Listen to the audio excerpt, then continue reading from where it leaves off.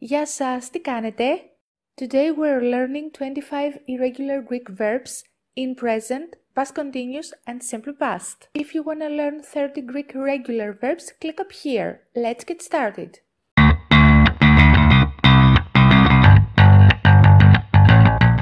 Παίρνω.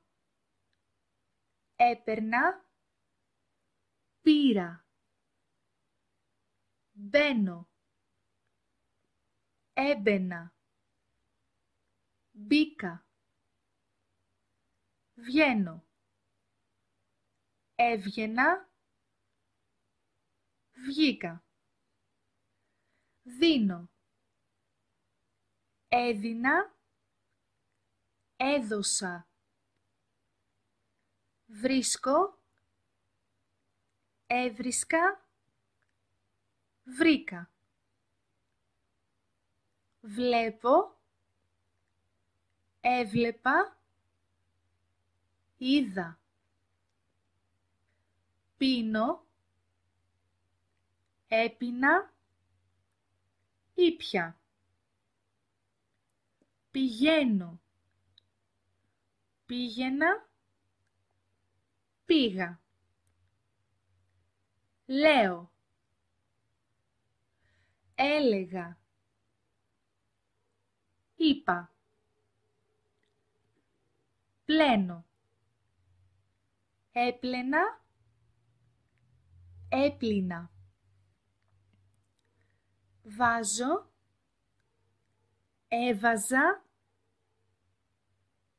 Έβαλα. Βγάζω. Έβγαζα. Έβγαλα στέλνω, έστελνα, έστειλα. Μένω, έμενα, έμεινα. Τρώω, έτρωγα, έφαγα. Καταλαβαίνω, καταλάβαινα,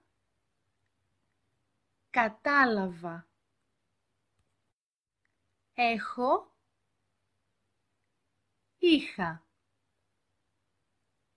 Έρχομαι, ήρθα. Περιμένω, περίμενα. Κάνω, έκανα. Θέλω, ήθελα. Ξέρω, ήξερα. Πέφτω, έπεφτα, έπεσα. Φέρνω, έφερνα, έφερα. And φτάνω, έφτανα, έφτασα. Can you use these verbs into sentences?